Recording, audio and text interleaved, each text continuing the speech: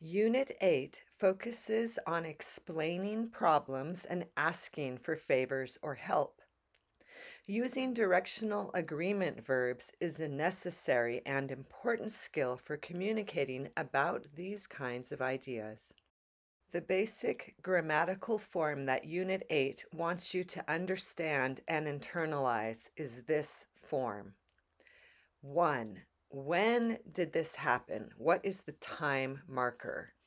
2. What caused it? What is the reason for the problem? And 3. What needs to happen next or what solution is being sought? In ASL, the typical discourse begins with a time marker.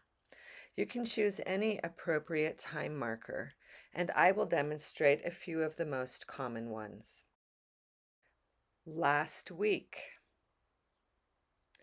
tomorrow night, next year, next year, yesterday, or yesterday, last night, this morning. Next, we come to the meat of the matter. What is the problem, or what caused it? In other words, why are you planning to ask for help? Here are some possibilities. My dog escaped. My car broke down. My mom, she's sick. My roommate, they're loud.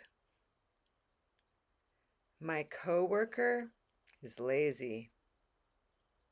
That store is closed. My phone, I lost it.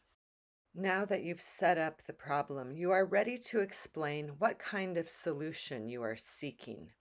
Here are some examples, but they're written in English. I will demonstrate these sentences in ASL but take note, the need must sign often comes last. Find the dog. I have to. Go to work. I must. This afternoon off. I need that. Your advice. I need it. Borrow money from you. Help me search. Courtesy is just as important in ASL as it is in English. We want to be polite when making requests, so it's best to start with one of these phrases.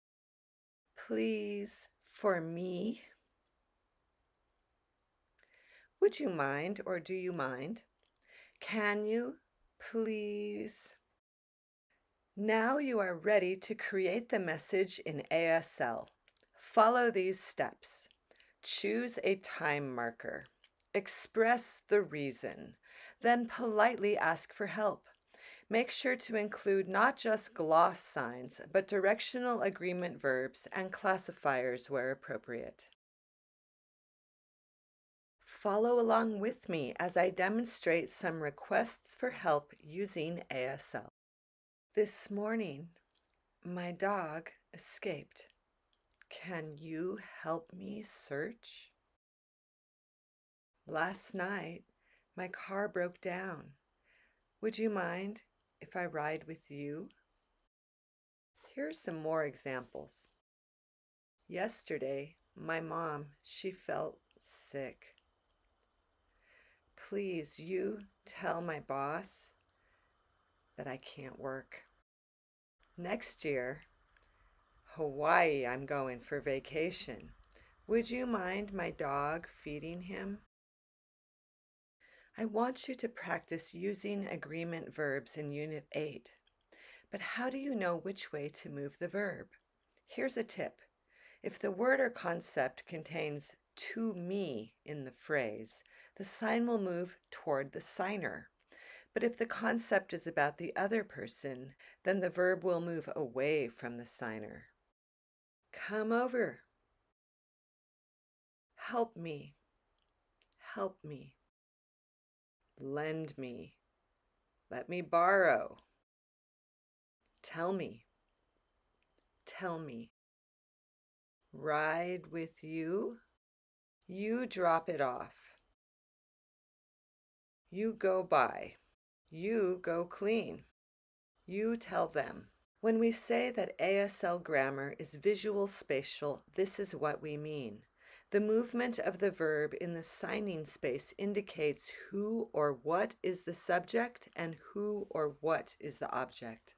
Make sure to include agreement verbs in your expressive video for Unit 8.